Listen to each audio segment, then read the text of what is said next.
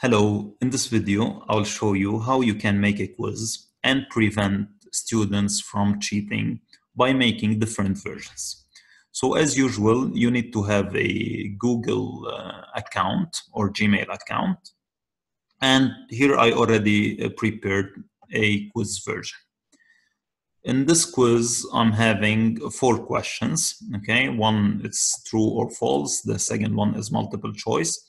And for the second version, I'm having also multiple choice and true or false.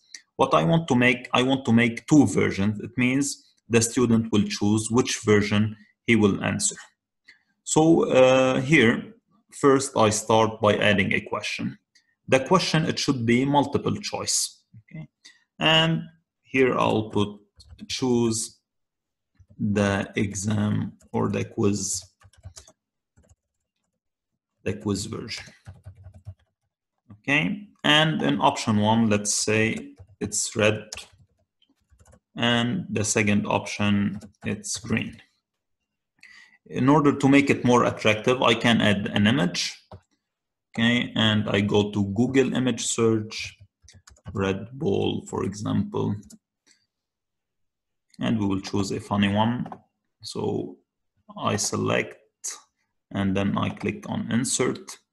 The same I go to green option add image. We go to Google image search bold green. Okay and this one is cute we can add it. Okay so uh, like this we're having the first question. Now uh, we click on this question and we go to add section. Okay, so I have to add a section. This section I will call it the red exam. Okay, and I go to the last question in the red section. Let's say it's here. Okay, also I add another section and I'll call it green exam. Okay.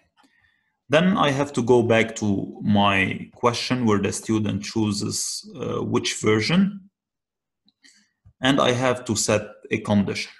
Okay, so I click here on the three points that we're having here. And I go to go to section based on answer. So here, if the student will click on green, he will go to the green section.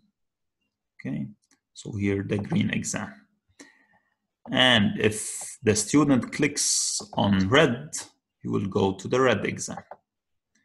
Okay, so like this, I will have two versions.